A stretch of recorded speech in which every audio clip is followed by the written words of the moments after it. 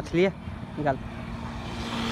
तो तोहनी के घर में डाइनिंग टेबल पे खाना खाते को देख लो रेस्टोरेंट में बैठ के खाना खाते को देखब। लेकिन पहलका बार हम देखाओ थी कि हाईवे पे बैठ के कैसे खाना खाइल जाला। ठीक है, गमछा बिछाई और यही ली एकदम फ़ीस, आ, प्याज व्याज रख के अब निसवा खाई रही। और एकदम हाईवे के मज़ा ले रही। ठीक हो ये देखो, सरे है देखो। एकदम